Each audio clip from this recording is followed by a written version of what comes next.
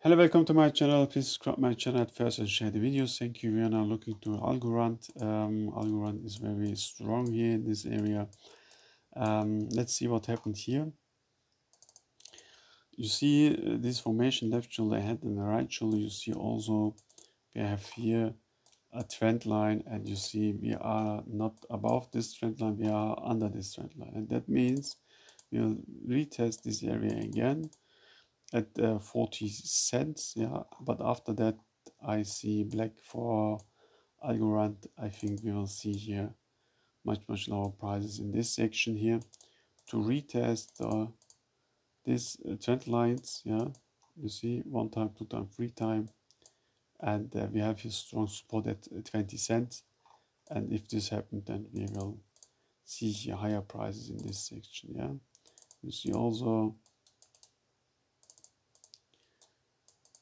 left shoulder head and the right shoulder and we will see here higher prices in direction of one dollar 60 cent but before we see this here we have to go a little bit down to 20 cent 18 cent in this section.